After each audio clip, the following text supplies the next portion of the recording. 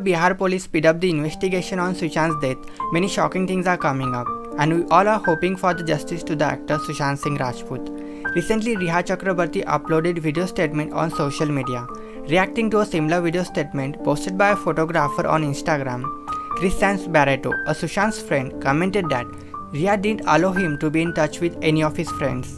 The truth will be out and we'll make sure of it, she added. Reacting to Chris actress Kajol Tyagi also commented. She said, It's evident faking rape. Actress Kajol Tyagi thinks that Rhea is faking emotionally in her video statement. What is your take on this? Let us know in the comment box.